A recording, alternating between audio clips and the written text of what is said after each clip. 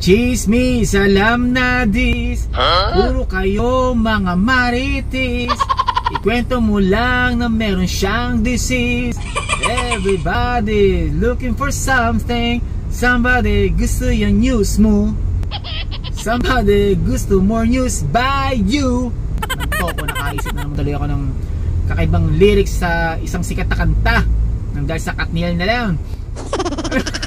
Alam nyo ha kung kayong mga apektado eh relatives or close friends ng dalawang yon okay lang maging affected kayo magpo-post kayo sa mga social media. Pero nakaka-bad trip yung mga nakikisabit lang eh. Yung kakaalam lang nung issue tapos makikisawsa kung nyari affected mga para kayong wakang unang-unang ka-textmate nyo ba yung mga yan. Kung yan ang gusto nyo bala kayo.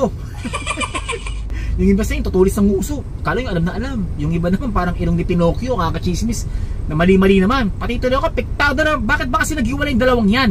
Di ba tagal na nila? Si Andrea ba talaga ang dahilan? Pero may isa akong uh, isa akong dahilan or may alam akong isang dahilan kung ba't sila naghiwalay. PM is Ducky